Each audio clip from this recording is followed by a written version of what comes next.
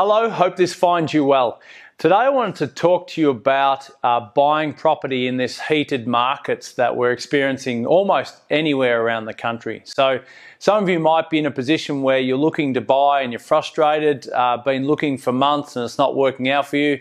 Some of you might be sitting back waiting for, for for Christmas and New Year to pass, and then hopefully the market's slow and you, you, give yourself a chance of, of getting something that you're after. So I wanted to give you a few tips today that might be able to help you through this period. So we know there are hot markets everywhere.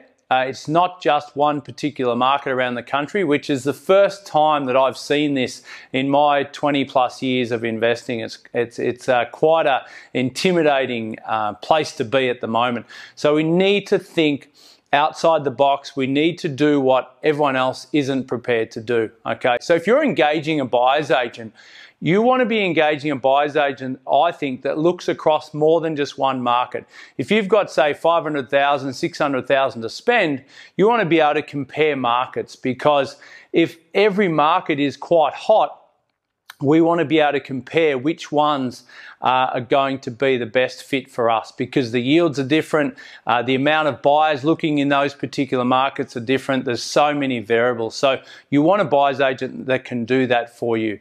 Uh, we don't want to buy just for the sake of it. We may have been looking for one, two months, three months, in some cases, six months.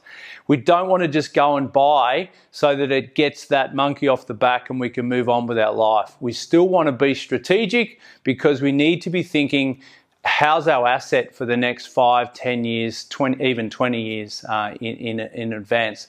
We've got a Christmas New Year coming up. It's round about, uh, at the time of videoing now, is about six weeks away, six, seven weeks. Okay.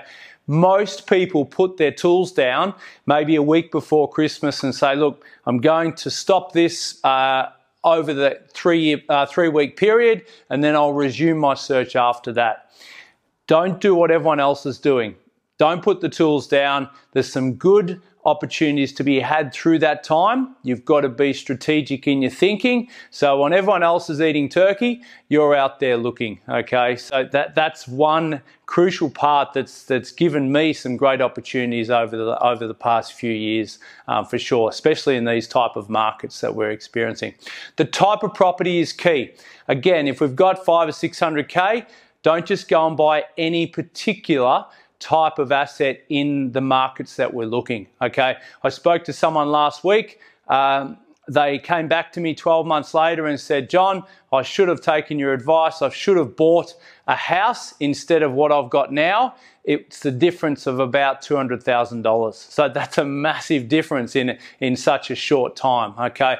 Now, it might not be to that extreme, but we've got to think when the tide goes out, in 10 years, 12 years, 15 years' time, how is my asset positioned? Right, and that all comes back down to the location uh, and indeed the type of asset that we're actually buying.